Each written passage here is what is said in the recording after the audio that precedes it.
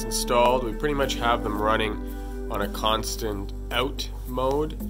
So it's always taking air out of the barn and uh, significantly has lowered the humidity here in the barn for the horses.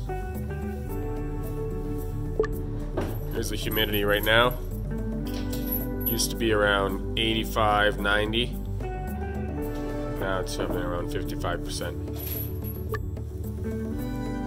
Units here in each stall.